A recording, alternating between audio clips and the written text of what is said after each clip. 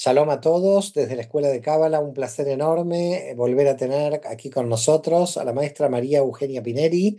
La verdad que para mí eh, Eugenia es una de las grandes responsables de unir la astrología y la Cábala en la era moderna y con ella tendremos una maratón de ocho horas, si Dios quiere, el 29 de noviembre. Antes de comenzar, eh, primero darle las gracias a Eugenia por, bueno, ofrecer esta maratón que será muy potente. Y me gustaría, Eugenia, para aquellos que no te conocen, si puedes explicarnos eh, tu trayectoria personal, sobre todo profesional, de cómo has llegado a unir eh, de manera tan profunda en tus investigaciones la astrología y la cábala. Bienvenida a la escuela, eh, Eugenia, un placer. Gracias, Mario, gracias nuevamente por la oportunidad de, de estar otra vez en la escuela y que bueno, para mí es muy importante porque gran parte de mi pilar de base para poder unir la astrología y la cábala fue la, la maestría que, que, hice en la escuela. Dentro de mi trayectoria más importante es que tengo el honor de pertenecer a, a la primera generación de maestros de cábala y de haber contado bueno, con excelentes maestros y entre ellos eh, cuento con como maestro ¿no? a Kabalev, que fue el, el, gran, el gran promotor de la astrocábala. Yo no llegué a conocerlo a él, sino de sus libros, pero sí hice formación con sus hijos, con, con Milena y Tristán. Así que mi gran base de unión entre la cábala y la astrología es esa. Es una base que también hicimos cursos en, en la escuela sobre el método de Kabbalah, cómo es pasar la información de astrológica al árbol de la vida y bueno, para mí es, ha sido, han sido las grandes herramientas de mi vida, en, mi búsqueda personal, que, digo, si las hubiese tenido antes, no, no hubiese estado dando tantas vueltas, hubiese sido un poco más directo, ¿no? Siempre cuando tengo las consultas le explico a la persona, eh, tanto el mapa astrológico de la carta natal como el árbol de la vida son mapas y uno utiliza mapas para ir a un territorio en el cual no conoce, en el cual no se mueve por falta de conocimiento, por falta de referencias. Entonces, ¿qué hacemos tanto en, desde la carta natal y el árbol de la vida? Ubicarnos en un territorio que no conocemos del todo y tomar referencias para tomar el camino directo hacia el objetivo que tenemos. Primero, me gustaría, perdón que te interrumpa, eh, enviarle a los hijos eh, de Kabalev un gran abrazo. Sí ¿eh? a, los, eh, a los cuatro. ¿eh? A los cuatro, son cuatro, sí. Son cuatro, así que un abrazo muy grande. Enorme. También te felicito a ti, que te veo justo la Aleph arriba tuyo. Estás, sí. justo en equilibrio entre la Shin y la Mem. Bueno, ya lo explicarás, si Dios quiere, para aquellos que se inician. El maratón serán ocho horas, el día 29 de noviembre de, eh, entiendo, de 10 a 14 y de 16 a 20, espero no equivocarme con los horarios, en, ese, en esas 8 horas, ¿qué es lo que sucederá en la maratón? Porque son muchas horas. Eh, ¿Cuál es la propuesta de la maratón? ¿Hacia dónde te diriges? Eh, ¿Qué es lo que pasará allí? ¿no? Es decir, ¿qué pasará dentro de la maratón? Sí, la idea principal del maratón es hacer análisis como si estuviera en consulta es hacer una demostración completa de cómo se hace un análisis astrocabalístico en una consulta, o sea, cuál es la información completa que recibe una persona. Así que para poder eh, abarcar varios temas, vamos a hacer con distintas personas, distintos voluntarios, análisis. El primero de todos será un análisis completo, donde la gente va a poder entender cómo se aborda una consulta desde dónde empezar, qué explicar, voy a hacer una introducción, que en realidad esa introducción la, hago siempre, digamos, en cada consulta para que la gente comprenda la base de la información, pero en esto la iré introduciendo en cada una de las consultas que haga. La idea principal, lo que más miramos en el maratón es, eh, y, en, una consulta son mmm, el tema de los desequilibrios de una persona pero los desequilibrios que venimos a trabajar marcados por, una, por un mapa, por una carta, ¿no? Entonces, eh, la idea es entender cómo nos puede servir de referencia esa información. tal como decía antes, si es un mapa de referencia, es tener tanto la referencia de aquello que ya hemos, de alguna, de alguna manera, hicimos ticuno, lo rectificamos, como aquello que todavía nos falta reequilibrar, ¿no? Perfeccionar un poquito y de esta manera ir conociendo cuál es nuestro, un poco nuestro camino de vida, lo que mucha gente busca como, como misión.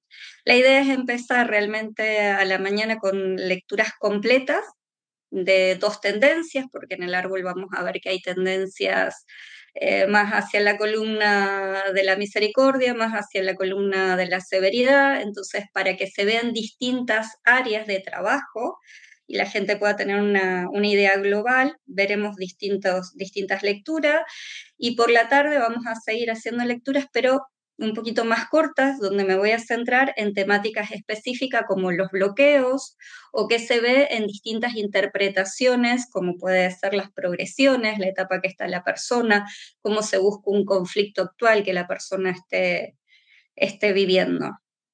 En este momento podríamos decir, eh, en líneas generales, que dentro de la Kabbalah existen como tres análisis de largo de la vida diferentes por lo que veo, ¿no? Es decir, la aplicación psicológica, que, que digamos yo estoy como en esta línea de la aplicación psicológica, la aplicación astrocabalística, eh, por tu parte, y también eh, hay una tendencia, yo diría, numerológica, en algunos casos que nos llegan. Esto no tiene que ver con la numerología, esto tiene que ver con la astrología cabalística. Sí, la numerología de, momento no la conozco, no, no, conozco, tengo gente que ha hecho de, de, la rama de Jaime Villarrubia, que dicen que también es muy interesante, pero yo solamente toco desde la astrología, la información que hago es desde la astrología. Es totalmente compatible con el análisis psicológico. Claro, claro. Que estuve o sea, entre el estudio y que estuve presente en las maratones, eh, cuando esté haciendo la maratón y esté explicando la parte astrológica, para los que ya tengan concepto de, de, cábala psicológica o hayan hecho las maratones anteriores, les voy a ir recordando en qué momentos pueden introducir, por ejemplo, para acompañarse en, en la profundización de la persona en la parte psicológica. O sea, lo que te comentaba, desde la astrología es un mapa, de referencia. Y va muy bien para cuando la persona está un poco ahí perdida, que no sabe en qué etapa está. Esto se puede complementar totalmente con la parte psicológica. Así que aquellos que han hecho la maratón psicológica, o sea, tranquilamente esto les sirve de complemento o viceversa, ¿no? Si hacen este, hacer el otro les sirve totalmente complemento para entender un poco más los mecanismos. Esto es bueno, ¿eh? lo que tú estás diciendo es bueno porque de ese modo eh, podemos decir que no hay incompatibilidad, al contrario, es totalmente complementario la psicología cabalística y la astrología cabalística, ¿no? Para nada. Es decir, hay una psicocábala y una astrocábala. Totalmente, o sea, son mecanismos, o sea, que se pueden acompañar totalmente. Incluso, eh, bueno, he hablado con, con, psicólogos, ¿no? Y esto, y, y claro, es muy, muy importante para el tema del diagnóstico, la astrocábala. O sea, puede llevar a interpretar y hacer un diagnóstico más rápido, lo que hace es acelerar el proceso de tratamiento, de acompañamiento a un paciente. Entiendo, Porque claro, te está llevando a características específicas, lo cual se puede acompañar en el proceso más psicológico después. Los voluntarios eh, ya están, eh, van a ser llamados. ¿Cuál es el proceso del voluntariado? ¿Cómo alguien que nos escucha dice, quiero ser voluntario eh, en la maratón de Eugenia Pineri? ¿Qué tiene que hacer para... para bueno, ya, ya, tenemos una lista súper amplia de voluntarios que Lina sacó el aviso lo que pedimos, o sea, y por las dudas que se vuelva a sacar o alguna cosa así, lo que pedimos fue gente que tuviera muy claro el momento de nacimiento, o sea, lugar, fecha, pero principalmente la hora, porque ya como no voy a poder contactar con ellos directamente previo a, las consultas, eh, necesito que tengan segura la hora. De lo contrario, si no, yo cuando tengo consulta pregunto si están seguros o no y hacemos rectificación horaria y todo esto. Así que, digamos, el, primer paso es que tengan segura la hora. Son los, los datos básicos que necesitamos para hacer un estudio. A partir de ahí, pues dentro de los que se presentan, realmente iré tomando distintos mapas justamente para que sirva de ejemplo para todas las personas. Pero después cualquier persona puede hacer un estudio astrocabalístico. Perfecto. Reiteremos algo que me parece muy importante. La astrología ya viene desde los cabalistas de la Edad Media. ¿eh? Recordemos, eh, muchísimos cabalistas aceptaban la astrología. Lo digo porque hay en algunos movimientos bastante literales a nivel religioso, como permanentes ataques a la astrología relacionándola eh, con eh, lo que se atacaba en el texto bíblico y me parece que es interesante que todos estos místicos a lo largo de la historia, hablamos desde el siglo X, desde el siglo XI, inclusive hay datos anteriores, la astrología es bienvenida, entendida como un instrumento para comprender los secretos de Dios a la construcción del universo, ¿no? Entonces, yo lo quiero aclarar porque lamentablemente hay eh, muchos grupos, eh, sobre todo el mundo evangélico, gente que eh, tiene, como una gran confusión con respecto a este tema, como que cree que la, la, astrología es como la idolatría totalmente pecaminosa, y lamentablemente no es así porque toda la mística hebrea a lo largo de toda la historia ha tenido entre los cabalistas más importantes grandes astrónomos y grandes astrólogos. Esto lo quiero dejar eh, me parece bien reafirmar esto, porque lamentablemente siempre hay un discurso que me parece proviene de la ignorancia de mucha gente reiterando permanentemente de que aquellos que hacen eh, astrología hacen idolatría. Los que hacen idolatría es que creen que un planeta es Dios. Esos son los que hacen idolatría.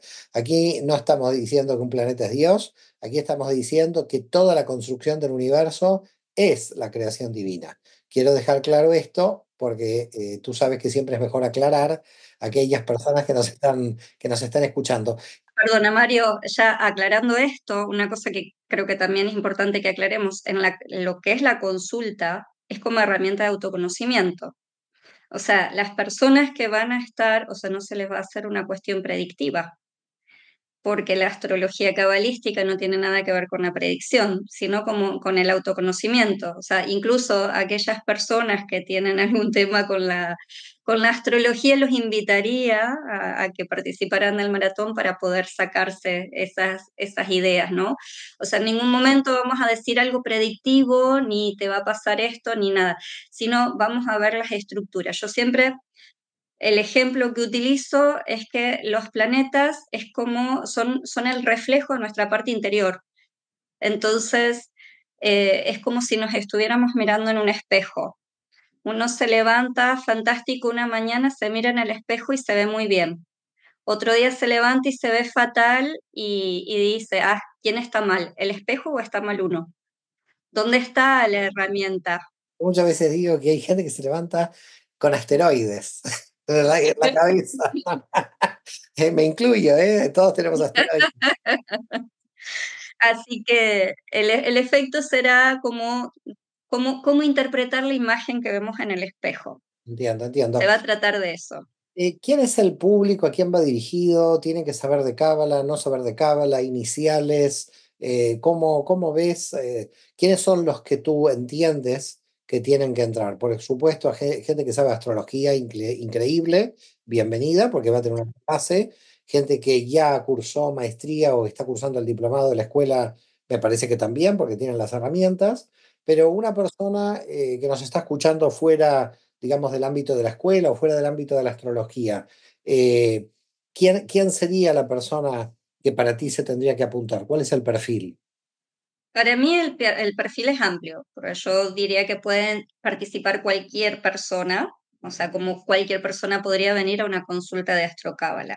La idea es justamente hacerlo de esa manera, como si fuera una consulta para alguien que viene, tanto que sepa, que conozca de cábala, de astrología, como aquel que no conozca y lo que esté buscando es información sobre sí mismo.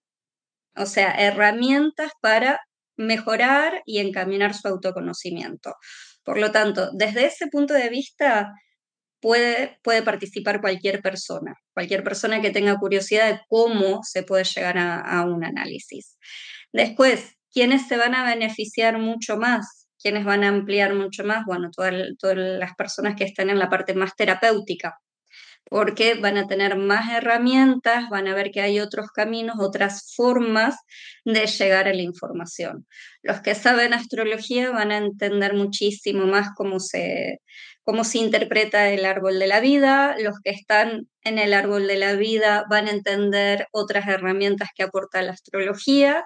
Por lo tanto, para mí, o sea, es muy, muy amplio. Es verdad que ese sector es el que más se va a beneficiar, más información va a tener, pero la idea es que esté orientado a cualquier persona que quiera participar, tal y como viniera a una consulta astrológica. Excelente, excelente. Y bueno, decir solo que vamos a tener una sorpresa con María Eugenia Pineri para el próximo año, 2025, pero que como es sorpresa, como es secreto, eh, quedará en el secreto. Eh, Eugenia, un placer enorme esta conversación contigo. La verdad que siempre es un gusto, una alegría eh, que irradias tanta luz ahí desde Mallorca para todo el mundo.